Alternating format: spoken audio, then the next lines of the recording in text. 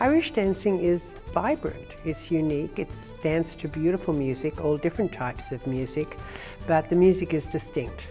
Uh, I think when you hear the fiddle and all the different instruments that are associated with Irish dance, it brings joy. It's so much fun.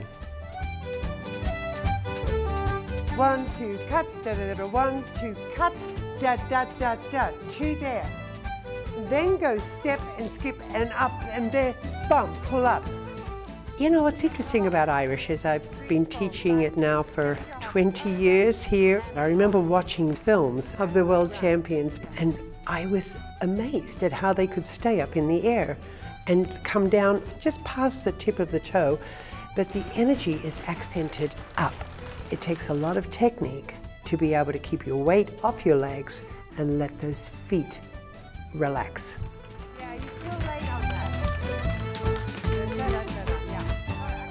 The hardest thing really is separating all the parts of the body, but keeping them as a whole. You have to be pressing through your feet, you have to be really using your toes and remembering that your toes are what propel you off the floor along with the plie. Rock, up, rock, rock, rock, rock, rock, rock, rock, rock, rock, rock, hop, rock, rock, rock, hop. Two, three, four, five, six, seven, hop, over and bop.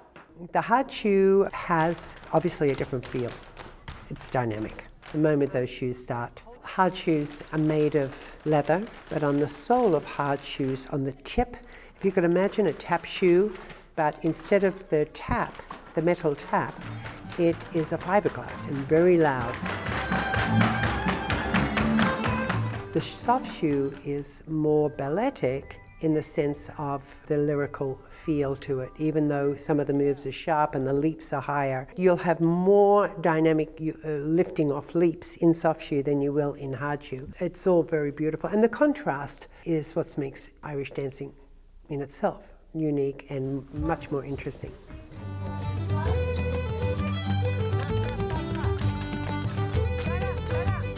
Uh, the rehearsals that we're at right now as you can see, are preparing for St. Patrick's Day and also from different performances throughout the year.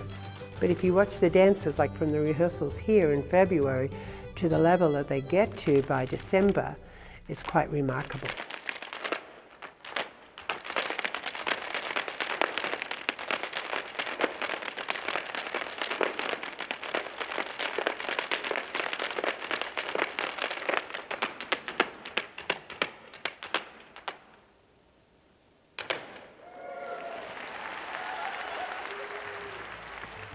We're very fortunate because of the type of company that we've grown into and it's taken a lot of work. We've strived to become the best that we can be.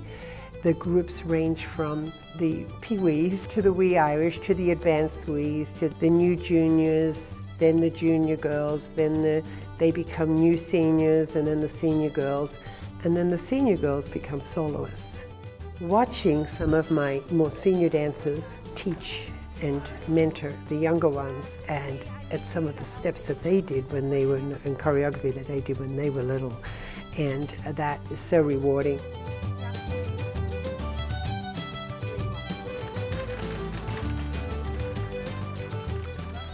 I have been doing Irish dancing for about six years.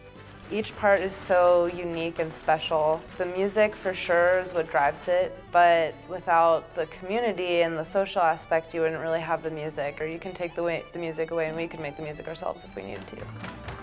And then she bows. Up, up, up, up.